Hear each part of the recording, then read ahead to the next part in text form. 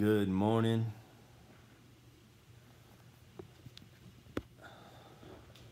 Good morning, good morning. I want to make sure I'm on here.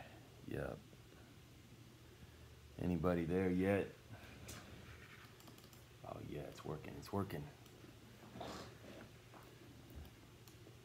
Who's there? Just waiting for people to come on. Making sure everything's working. Hey, I got somebody. Who's there? Amanda Rand. Good morning. Got somebody over there on YouTube as well. Thank you, Amanda. All right. Good morning, Phyllis. Good morning, Mom. Good morning, Brittany. Good to have you guys on. Been a while, but we're back. We're back. Oh, all four kids home, Rose. I will pray for you. All right. Let me give you a rundown on Haiti here in just a minute. Give you a. Let's see. I just want to make sure I got everything here. There we go. Good morning, John. All right. Good morning, Leanne and Lori. Just waiting for a minute. Still before six. Good morning, Martha. Good morning, Becky. Darren. Good to be back. Darren, good to see you. All right. Um, so let me give you a little rundown, a little quick rundown. Haiti, what it was um, like. It's crazy. Uh, as you can see, I'm now darker. That's what happens in Haiti. Um, but I'm still lighter than everybody that will see in Haiti. Uh, um, Haiti, man, it's crazy there. So uh, it's it's like every movie you've ever seen of like post-apocalyptic times where um, you know the world was devastated, and then you know what's left of the world. Um, no, it's Becky. It's it's. Not, I think India uh, is got some places that are poorer than Haiti, but it's uh, the poorest. From what I understand, it's the poorest country on this kind of part of the earth. We're kind of close by where we are, but uh, it just looks. I mean, everything's kind of rubble. Um, good morning, Chris. Good to see you, man. Um, yeah, so it's just it's just brutal. I mean, it's just like they've been they've been pummeled uh, several times. So um, I don't know. It's just it's it's tough to see it when you're there. Uh, first couple days, you're really kind of processing, or I was really kind of processing, because you just get this sense when, as soon as you go in, um, as an American, especially. I wasn't the only one, and we were talking, and you just get this sense that you just want to try to figure it out. You want to figure out how to fix their situation, uh, and I'm not sure that that's the way to go. Uh, I think the longer that I was there, the more that I would realize that, uh, you know, they're they're not as unhappy as we make them out to be. There is a desperation there, that, but they're, you know, people people just live. People, uh, you know, you don't you don't get this sense of, um, you know, that. I, I don't know. I, I didn't really get a strong sense that there was no hope. You know, I'd heard several people that was their thought. It was just like you feel this sense of hopelessness. But I also heard um, from those who have been back several times uh, that every time they go back, it just seems like there's a little bit of improvement. That there's they've they've made a little bit of ground. So, um, but I don't know, pretty intense. You know, I think I think some of that stuff will come out in our Bible study times. Uh, just the, I mean, there's some things that kind of open my eyes in Scripture. Um, everything's different, right? I mean, all of Christianity is different. Verses read differently in your mind when you're in a world that's radically different than your own cultural context. Um, so when we're over there, even like we did a lot of worship songs and things like that. Uh, and when when you're reading through worship songs, man, the the words mean something so much different when you're in a country like that. When you're singing something and you're just like, okay, these lyrics uh, in in our worship songs, you know, things that we've sang a hundred times before in our own context, and we just kind of bypass these things. And then when we go over there and you're singing the same songs in those contexts and in those cultures, uh, it just changes everything. I mean, it's just like, um, you know, uh, I was thinking about the song, we did the song Holy Spirit, and, um, it's like the very first line in that is there's nothing worth more. And we're just talking about the presence of god and that the most valuable thing that we have is the presence of god. We've sang that so many times here in the states where you've got this line you know like the greatest or the most valuable thing in the world is is the presence of god. And then when you're in haiti and there's literally a, a lack of food um, and then you're still you know and people are, are desperate for things and they're desperate for just i want to be able to eat and i want to be able to uh, you know just make it through the day to sing a song that says there's nothing worth more than his presence. That, that's a that's it just changes it right? And so i think that was kind of what what i experienced is you know because i was leading songs um, every night and a couple times in the morning too and it just seemed like every single song that we that we read just talks about the or that we sang talks about the value of god and um, you know so we we we realize that you know that can get challenged a little bit when you get into those parts of the world so, uh, good morning, Brad. Good morning, Shanna. Saw Adam on there. Good morning, Amanda Acorn. Good to see you. Um, you don't miss what you don't have, or, or, that you've never known you've had, right, John? Um, okay, so we got a few of us on here. We're back. Um, I'm excited to be back. I like my routine. I like getting up in the morning with you guys. I like opening the Bible. It is Easter weekend. It is. Uh, tonight it, today is good friday and kind of interesting right because we just took a break um, as if we were too far ahead uh, as as if we were too far ahead we took a break we took a week off only to land in chapter 15 of the book of mark so if you have a bible open it up chapter 15 of the book of mark what's interesting is we are sitting in a this weekend we're going to be in 15 um, probably won't get to 16 until Monday, but it the the section that we're in is so Easter focused. It's kind of funny that we just are like locked into the right time at the right place. Um, that we're in the Easter story, even though we've been going for months through the book of Matthew and Mark on Easter, that we're in the Easter story. That's kind of amazing to me. Uh, let's pray together. Jump into chapter 15 and uh, let God speak to us. Lord, I thank you to be back. I thank you that I am back. I thank you that there's people that have gotten up this morning to be back with me. Lord, I pray that you would give wisdom to us to understand your word. Um, not just not just knowledge, not just stuff that, that goes into our heads so that we get proud of what we know, but truly that you would speak to our lives, that we could change, um, that we can walk after you, that we could look more like you, and maybe even instead of pride, you would build in us a humility. Uh, we ask in Jesus' name. Amen. All right, here we go. We got a few of us on here. Verse 1 of chapter 15 of the book of Mark. If you have a Bible, open it up, follow along with us. Uh, if you see me reaching across and scratching my shoulder, it's because bugs bit me while I was in Haiti. Believe it or not, they were bugs. Um, so here we go. Verse 1 of chapter 15. And as soon as it was morning, so Jesus has been arrested. I got to give you the recap. Jesus has been arrested. Uh, the disciples have fled. They have they have kept. They want to keep their distance from Jesus.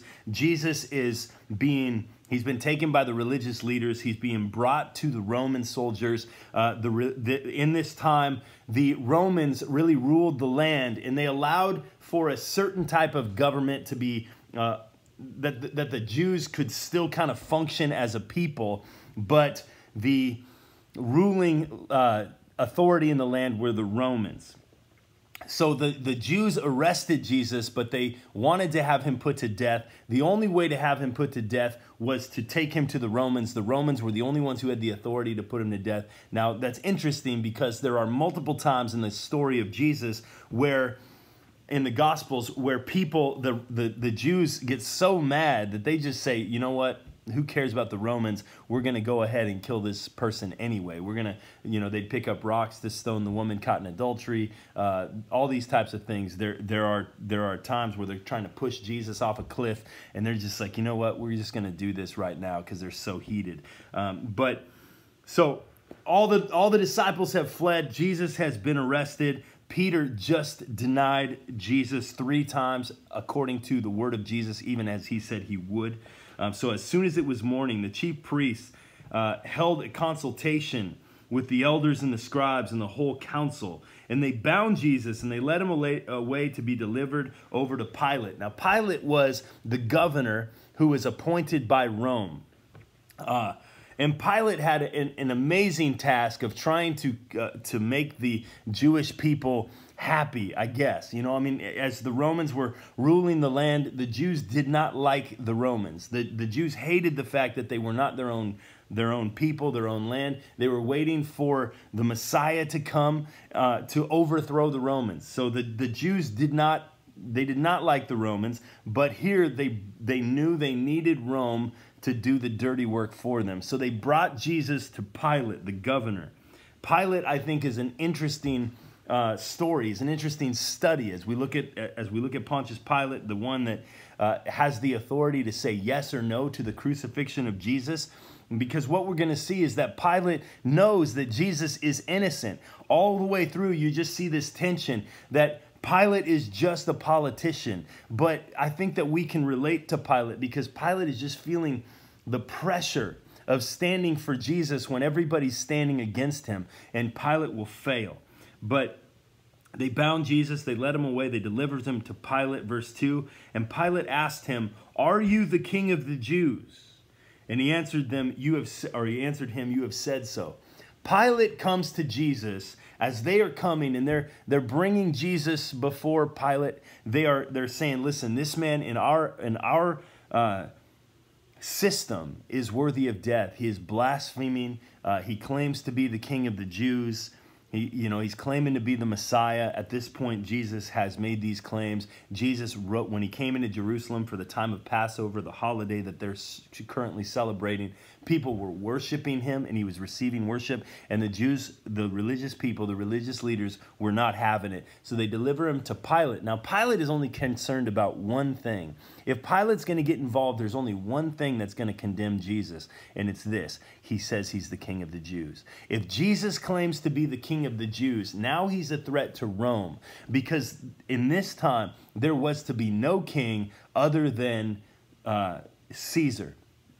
And so when Pilate comes to Jesus, he's just going to ask him one question, one question that could either make uh, uh, condemn him or truly free him. If he does if he if he defends himself and he says, "You know what? I'm not the king of the Jews. I'm just a carpenter. I'm just a preacher. I'm just a rabbi. I'm anything but the king of the Jews." But he comes to him and and the one question that that Pilate is concerned about, are you the king of the Jews? Do you consider yourself to be the king of the Jews? Are you a threat to Rome?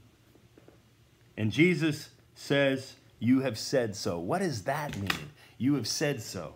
Uh, I, perhaps it is that Jesus is, is just leaving it on Pilate. You said it. You've said it. What do you do with me? This is something that we see in the other gospels when we look at the when we look at Pilate. One of the things that we see with Pilate is Jesus puts it on Pilate. You have to make the choice. You've said it. What do you say about me? We see that in, in, in all, when we read the story of Pilate, we see that in John's gospel. I'm pretty sure it's John's gospel, where Jesus is trying to get Pilate to make his own decision about Jesus. He's not, he's not going to allow him to simply uh, default to what the other people are saying because that's where Pilate's going. But Jesus is always trying to to pigeon to pigeonhole is that the right term? Uh, pilate and get him to make a decision about him. Listen i think he does that with all of us doesn't he? That jesus it's it's not about what the world says about jesus. It's not about what your family says about jesus. It, it's it doesn't matter what what your friends say about jesus. What matters is what you say about jesus. You have said so pilate. Are you the king of the jews? You have said so pilate Every single one of us is, is accountable for what we say of Jesus. We are all accountable for what where we stand when it comes to Jesus. When somebody presents Jesus to us, when we read of Jesus, it, there is not going to be any when we stand before God and he asks us this question, what do you do with Jesus? Who was Jesus? There's not going to be any room for us to to say, well, you know what my mom didn't teach me or the churches, uh, the, you know, the pastors and the churches were corrupt, or I was an American. We're not going to be able to lump ourselves in with any other uh, group of people, and, and that, that our um, belief of Jesus is not based on anybody else. It's truly based on he wants you to answer the question, is he the king of the Jews? He puts it on Pilate. You have said so. Verse 3 And the chief priests accused him of many things. And Pilate again asked him, Have you no answer to make? So how, see how many charges they bring against you. And Jesus made no further answer. So that Pilate was amazed. Jesus was not here to defend himself. Jesus, right here, is here to surrender. He has said multiple times already up until this point that he was going to die in Jerusalem and that he was going to rise three days later. Listen, nothing, even Pilate wasn't going to stop this from happening. Pilate wasn't going to make it so that Jesus was not going to be crucified, but Pilate had to make a decision about Jesus as to which side of this thing he was going to be on. But Jesus won't defend himself, he keeps silent. He allows the people to make the decisions about him. Verse 6 Now the feast, now at the feast, he used to release for them one prisoner for whom they asked. And among the rebels in prison who had committed murder in the insurrection, there was a man called Barabbas. And the crowd came up and began to ask Pilate to do as he usually did for them. And he answered them, saying, Do you want me to release for you the king of the Jews? For, I, for he perceived that it was out of envy that the chief priests had delivered him up. But the chief priests stirred up the crowd to have him release for them Barabbas instead. And Pilate again said to them, Then what shall I do with the man you call the king of the Jews? And they cried out again, Crucify him. And Pilate said to them, Why? Let's get, let, we'll go into verse 14 in a minute. So Pilate has a custom at the feast. It's Passover time. There's at least, there it, it, seems, about two and a half million people in Jerusalem celebrating the Passover. This is a massive festival. That's even right why Pilate's there at this time. Pilate would normally live in, in Caesarea Philippi. He is currently in Jerusalem because of the Passover. There's millions of people who are here. And during this feast, he had a custom to release to them a prisoner, somebody who uh, maybe they would they would um, they would want to see mercy shown. Uh, maybe it was a rebel who had stood against Rome, but he during this feast he's going to release one person, and they and the crowd's even asking. They said, "Hey, release for us one person." But the chief priests say, "You know what?" Let's get the murderer, Barabbas, to be released instead of Jesus. I love the picture of Barabbas. Barabbas is a murderer. He's, a, he's not a good guy and he's the one who they release instead of Jesus. This picture of Barabbas is a picture of me. He's a picture of you. This is exactly what happens that Jesus, the innocent one, gets condemned, gets crucified, it gets taken to the cross. But the one who is guilty, the murderer, the evil, is the one who is released the, that, that God, in his mercy, puts the judgment on his son, and the one who is guilty is set free. That Barabbas is just simply another picture along the way, a picture of the gospel, a picture of you, and a picture of me. I don't know what comes of Barabbas. I don't know where he goes after this. I don't know if he ever sees the, the, the, the depths of what God did for him in this moment. But the people stir up the crowd. The religious leaders stir up the crowd to say, Release for us Barabbas. And so he releases Barabbas. But verse 14 again, uh, it says, And Pilate said to them, Why? What evil has he done? They want to crucify Jesus. But they shouted all the more, Crucify him. Verse 15 So Pilate, wishing to satisfy the crowd, released for them Barabbas. And having scourged Jesus, he delivered him to be crucified. So here, Pilate again. I mean, you got to imagine, you know, I mean, I've felt peer pressure of you know 10 people in a room trying to get me to, to, to go in a certain direction um, here you have Pilate and you have the talk of the town, you have Jesus, and the people are stirred up, and there's 200 or sorry, 2.5 million plus people who are who are in Jerusalem at the time, and he wants to kind of keep the peace. He doesn't want to riot. This would be massive, and so he is he is afraid of the crowd. He wants to appease the crowd. Listen, couple of thoughts. Number one, don't try to appease the crowd. Don't don't try to appease the crowd. There there is this thing of momentum. A crowd will create momentum. You see the riots that happen, you know, after a political decision or after, you know, um, I've seen them after police shootings and these types of things, these riots that happen. Um, emotions can get going really easy, really fast. Be careful. Be careful um, not to get caught up in the moment. Be, be the one who steps back and thinks. Be the one who looks at things objectively. Be the one who always tries to put yourself in other people's shoes. Be the one who tries to see the whole picture.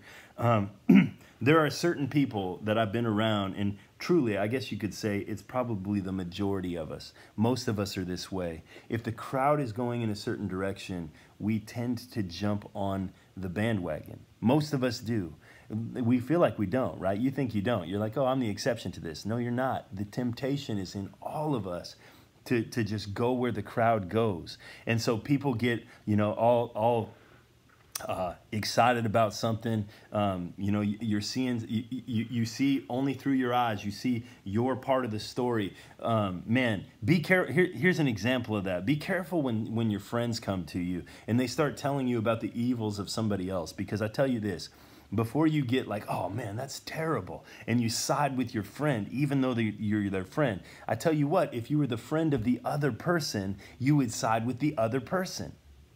Because that's just kind of human nature. We caught, get caught up in the wave and we just kind of go with the wave. And that's exactly what Pilate's doing here. He's just trying to appease the people. And the people are just riled up in the, in the religious leaders, the chief priests and the scribes. They're, they're inciting the crowd. They're, they're kind of directing the wave, and it's the momentum of it is just picking up speed as they are uh, as they're chanting and as they're crying out and they're looking at the blasphemy of this man Jesus and they're crying out crucify him crucify him. And Pilate's like why? What did he even do? But the crowd is just saying crucify him. And they're bloodlust and they're just they're just being taken by the wave the current of the moment. We need to be careful we need to be careful. That's the that'll that'll happen. We'll get we'll get stirred up. We'll see things uh, only from our own point of view. We need to be careful. And then it says Barabbas. They had him scourged. Look at this. I, I got this little note of what it means that they're scourged in my Bible. It says a Roman judicial penalty consisting of a severe beating with a multi-lashed whip containing embedded pieces of bone and metal. So this scourging was brutal. This scourging was ripping Jesus' flesh from his body. Uh, some have said that it would expose their organs, sometimes their bone. I mean, he, he, he got this beating before he ever even uh, is moved towards the cross. Jesus is being beaten. Um, again, from the other gospels, one of the things that I've seen is that the reason why they're doing this is to try to show mercy to Jesus because he doesn't want to have Jesus crucified. He's hoping that the that the punishment that he gets before he goes to the cross will be enough to appease the people that they will stop asking for his death because they'll say, "You know what? He's suffered enough. Let him go." But they're beating him, they're whipping him, they're scourging him Hmm. Got a little bit of time left. Let's keep going. Verse 16. And the soldiers led him away inside the palace, that is the governor's headquarters, and they called together the whole battalion. And they clothed him in purple cloak, and twisting together a crown of thorns, they put it on him, and they began to salute him, Hail, King of the Jews!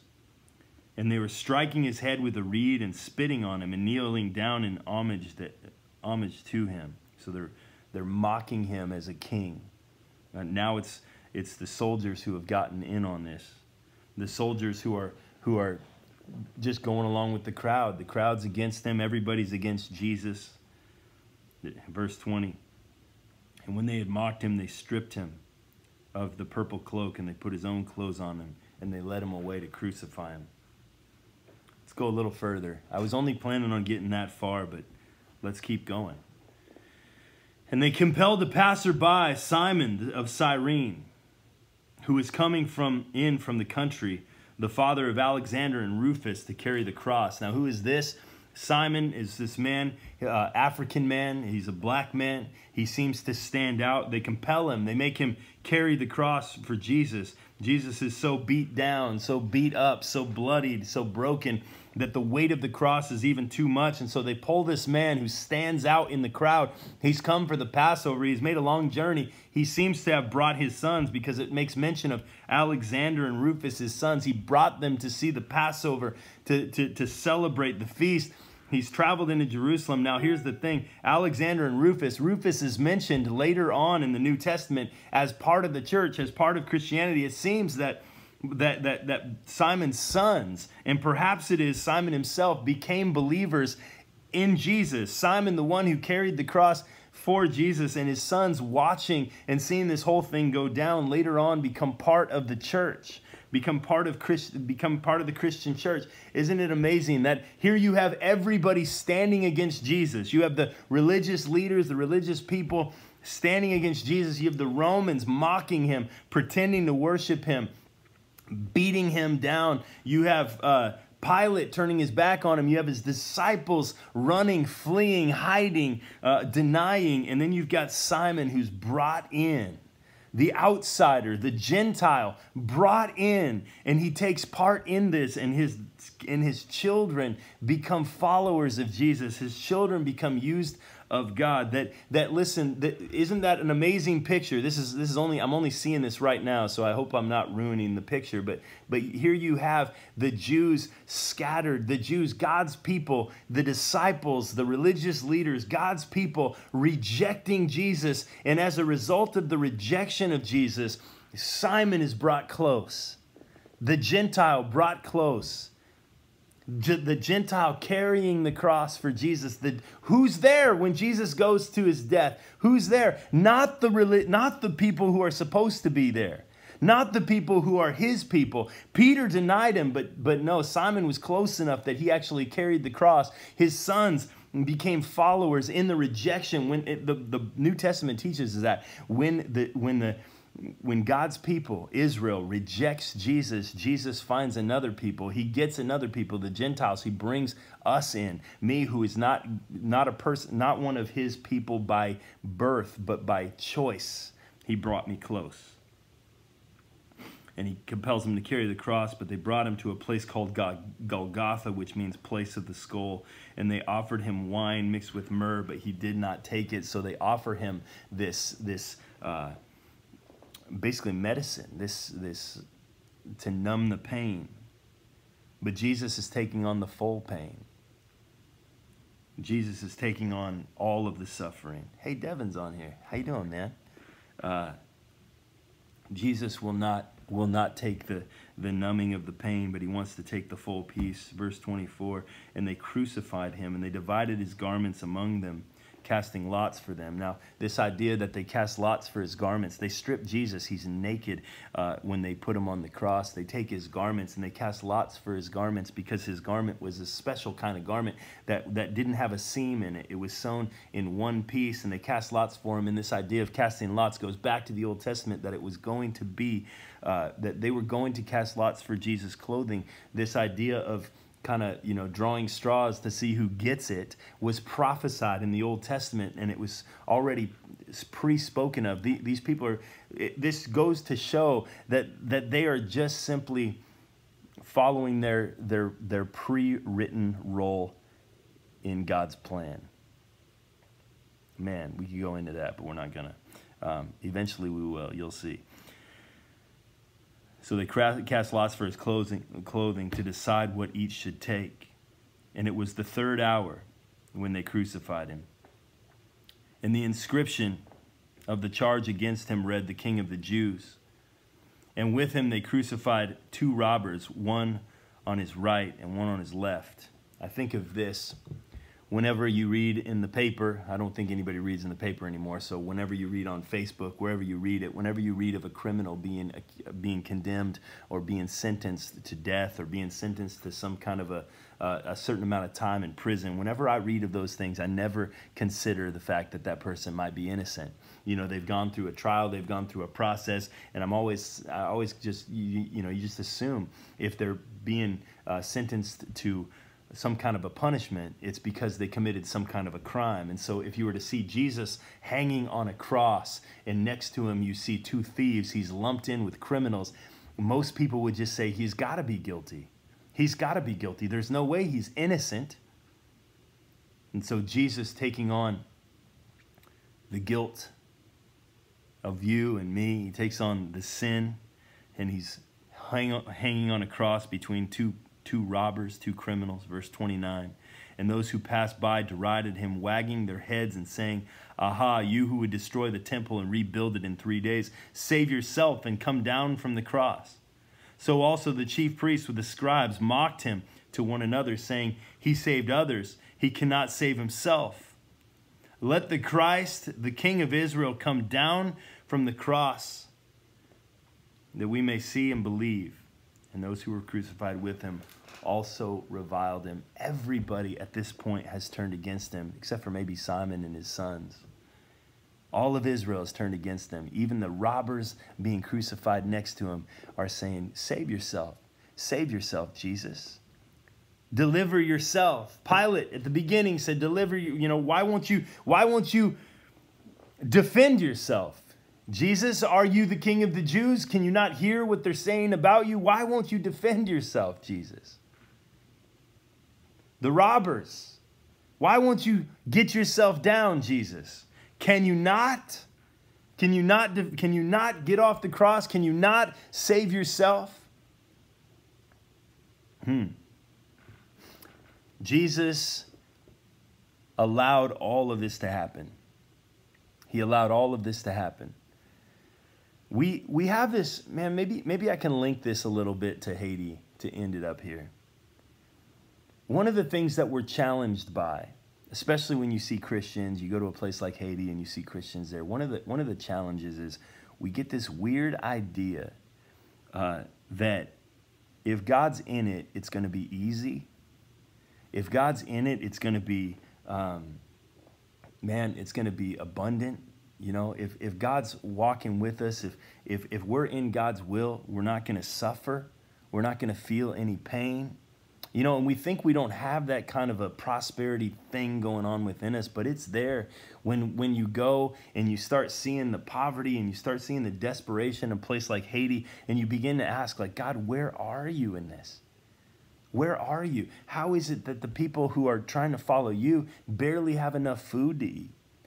How is it that that that that you know you've got orphans that you know little tiny babies who are in in an orphanage they have no parents no you know and, and they just sit in a room in a crib and and and maybe the people who work at the orphanage kind of rotate babies out to kind of hold them but but here you have this orphanage. Most of these kids will never be adopted. Even if even if everybody in america wanted to adopt these kids it's just that the system's broken and so they can't be adopted. Lord where are you in this? And we get this idea that somehow if if god is on our side, if God is for us, then none of these things are going to happen. Then none of this suffering is going to happen. That truly, if Jesus has the power to do it, then he will do it. If he can deliver himself from the cross, then he would deliver himself from the cross.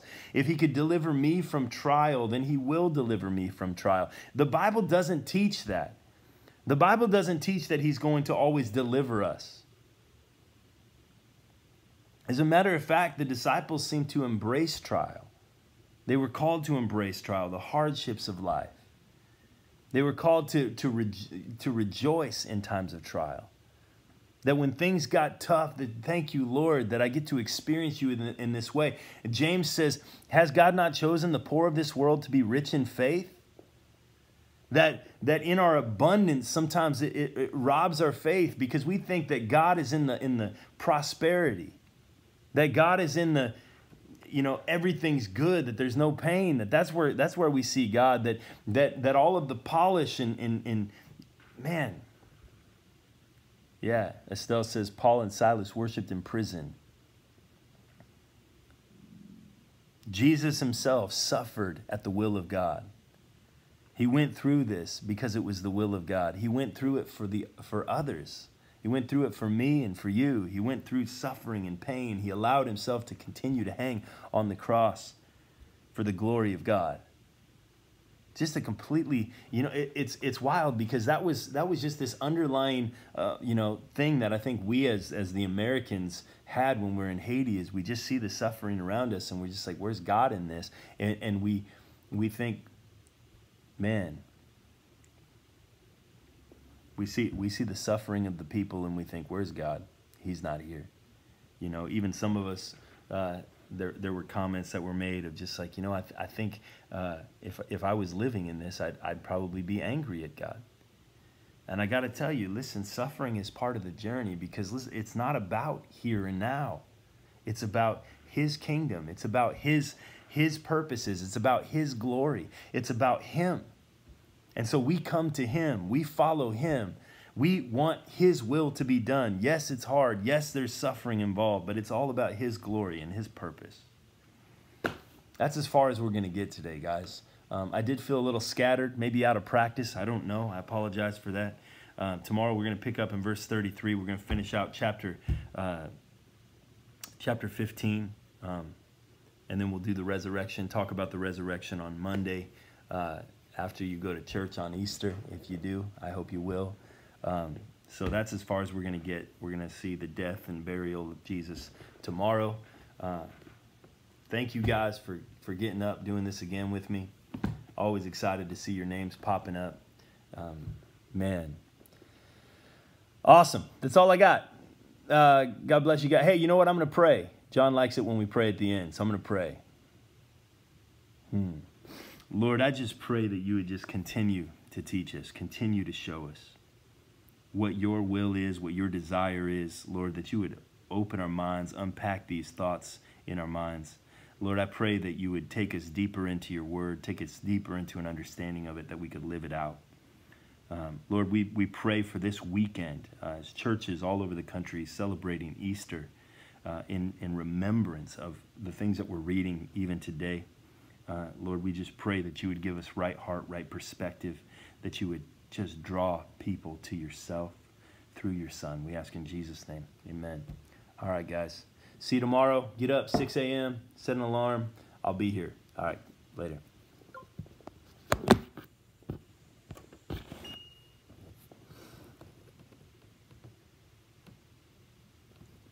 Hold on, I'm reading your comment, Pat. That's good.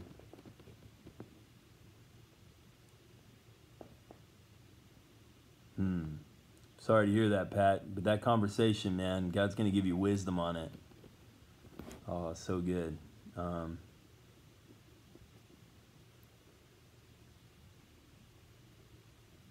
uh, Darren, you asked if, if Pilate's wife had any, any part in this um, to play. She did. She had a dream. Um, we saw that in Matthew.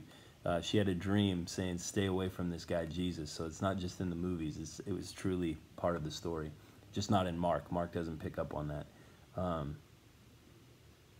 yeah, the uh, Passion of the Christ pictures it.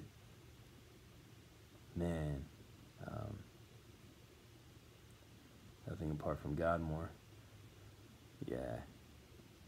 I'd love to go to India, Darren. Um, awesome. Awesome. Okay, guys. I'll see you tomorrow. Thank you, guys.